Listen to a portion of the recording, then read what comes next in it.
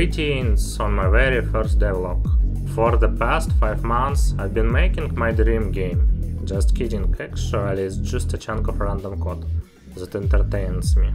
I've been working on a game called Hello Bevy, mainly because I was too lazy to rename the repository after first commit. But hey, at least it's a good project name, right? Take a peek at how it looked 5 months back. It come a long way since then. When developing the game, I decided to rely on my major experience and use only true proven tools. That's why I jump into first wagon of hype train and choose a language I have never seen before, Rust, and a game engine that has not even been released in alpha yet. Guess what it's called? Yeah, Bevy. Because well, my project is called Hello Bevy. Remember? Now you might be wondering, why the heck I did not start my cool project on Unity or Unreal? Hold your horses bro, I will explain. Sure, Unreal and Unity are the best game engines, except for Unity of course. But for such a simple game, download 100 gigabytes of engines, it feels like a bit of overkill. Plus, I am the kind of person who respects the journey more than the destination. Also, I have some micro OCD, and I wanted to know and control every little aspect of the game. Getting free plugins that will draw entire ocean for you in 5 minutes? No, thanks. My option is to figure out how shader works with these crazy maths and spend a whole week moving vertices on a water plane.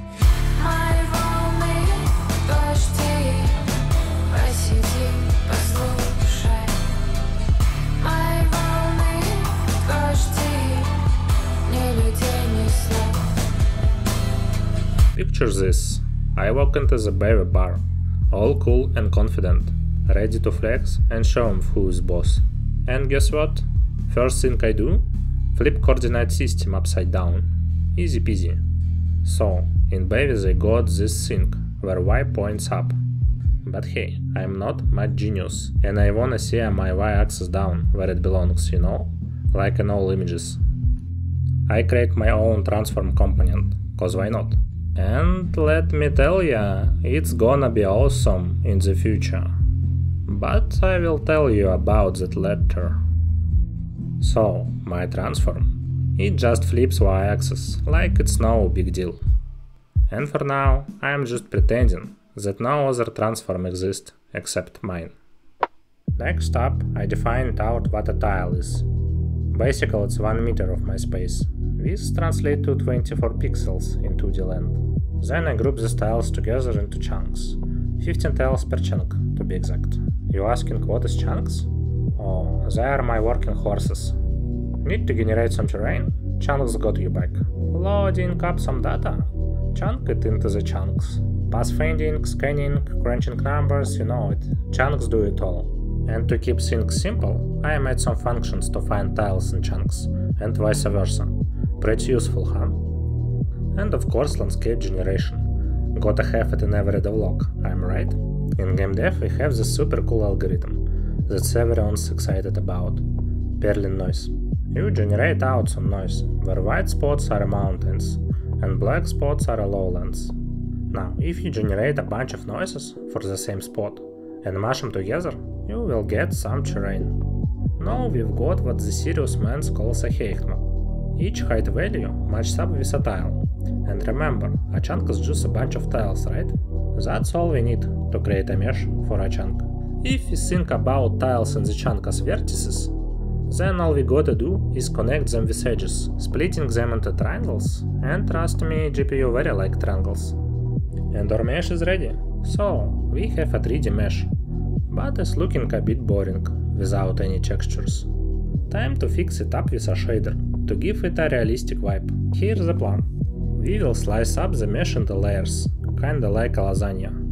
Each layer will have a different surface type, with its own texture, color, UV scale, and etc. First up, let's give each layer a different color, because we can. Later I will use these colors to add some variations.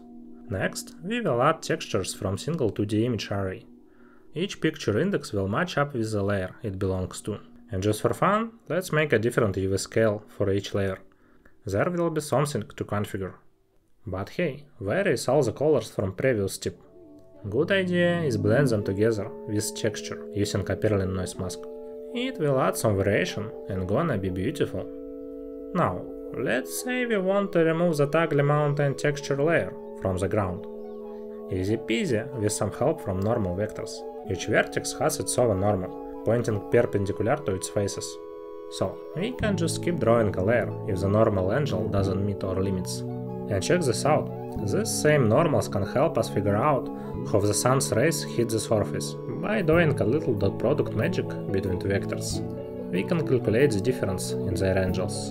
And we got a mask for diffuse lighting. Last but not least, we will multiply our light mask by the sun's ambient color and the final albedo value. And that's it. Ready to see all these tips in action?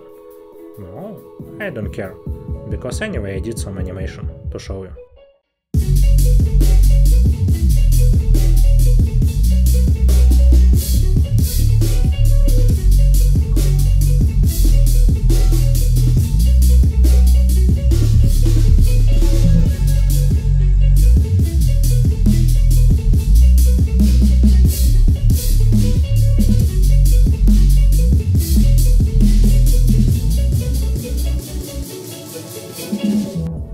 Be awesome to make a function that can return a height value for any 2D position in space. This cam's helpful to prevent character from falling under the ground. We already have a height map that holds the height value for every vertex of a tile. However, the desired position might be between these vertices, so it required some math. The height of arbitrary point equals to the weighted average height of each vertex of the triangle in which it is located. But what does that mean? This means we need to find the triangle and its vertices, which we can achieve by checking if x is greater than y. Then simply calculate the average and get the result. The final step is integrating this function into my own transform component. It will automatically update height for all game objects at once. Alright, now everything's ready to create a test character. I use Blender, but since I'm not exactly a modeling expert or even a novice, I decided to keep it simple and began with a cube. Then I got an idea to implement clothing physics, so I tried with a flat cloth plane, running simulations and baking the results into the bone positions. It wasn't too bad. Next, I sculpt and retopologize a basic model, and paint some textures using standard noise brush. And finally, I get ready to animate it with cloth physics. Next I create a custom asset loader. It makes simple to specify mesh, textures, and all the animations in single file. My animation system working pretty much like in Warcraft 3. I have different categories, like walking, attacking, standing, casting, etc. Any physical animations in the 3D model are just mapped to their logical counterparts. So now I have got this test satyr, live and running, and adding other models for different creatures. In the future will be easy. So, what am I doing? I have no idea. Having fun with Rust and Bevy. As for the game, well, I have some concept. Picture a mix of roguelike, action RPG, Noita and Factorio with magic. Let's try this.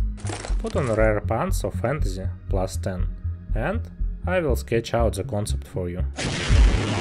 Player finds himself in the middle of random, nowhere world, armed with the skills of a mage engineer. Ah, Freeman. Who can build structures and mine resources. He finds some awesome crystals that produce energy. Energy can be piped to various buildings through a network of wires.